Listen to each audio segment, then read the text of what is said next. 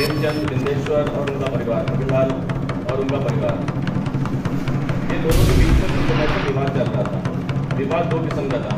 पहला विवाद था, इन लोगों ने जंगल में पोर्शन को क्लीन करके वहाँ पे खेती करने के काम जो करते हैं तो आज आस पड़ोस में इन लोगों की दोनों की ज़मीन और पेड़ को लेके विवाद शुरू हुआ। विवाद नंबर एक था। दूसरा ये था कि जो प्रेमचंद है, प्रेमचंद के यहाँ पे उसकी दो बेटियाँ हैं दस साल के बाद में उसको एक बेटा हुआ। अब बेटा पैदा होने के एक महीने के बाद में थोड़ा बीमार रहने लगा। और पिछले कुछ दिनों में बीमार हुआ यहाँ इलाज हुआ। फिर उसको जो है बीमार हुआ, बुखार हुआ, यहाँ से गुमला गुमला से फिर रांची और रांची में उसकी डेथ हो गई। अब ये जो आरोपी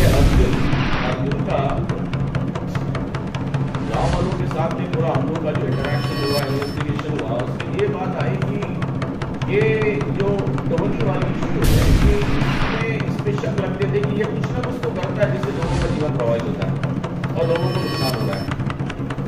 और चूँकि इन दोनों परिवार का अर्जुन और प्रेमचंद ये दोनों के परिवार में ज़मीन का भी विवाद था तो उनको ये लग रहा था कि किसी व्यक्ति ने कुछ ना कुछ हमारे खिलाफ में ये कर रहा है।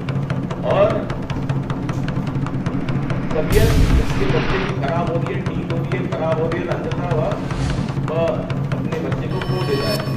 और ये बात उसके मन में बहुत गहरे बैठ गई। उसको ये लगा, अर्जुन ने ही, प्रेमचंद को लगा कि अर्जुन ने ही मेरे बच्चे को दिया अब ज़मीन का विवाद तो था ही, विवाद मतलब मानसिक विवाद पहले से था। तो पूरे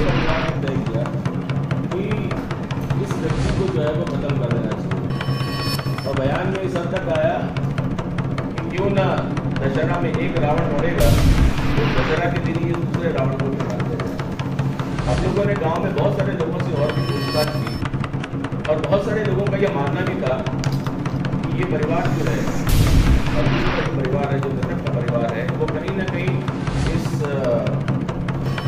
टोनी वाले इशू में इनका नाम आ रहा था।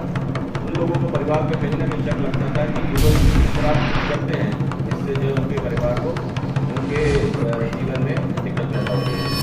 और यही मेन कारण बना इस व्यक्ति की हत्या का। और ये सब लोग जो है, पहले से तय करके रखे थे कि आज इसकी हत्या करनी है। इसलिए ये वेपन्स जो आपके सामने दिख रहा है, इस वेपन का वो लोग अलग अलग उनकी एक रेकी टीम थी।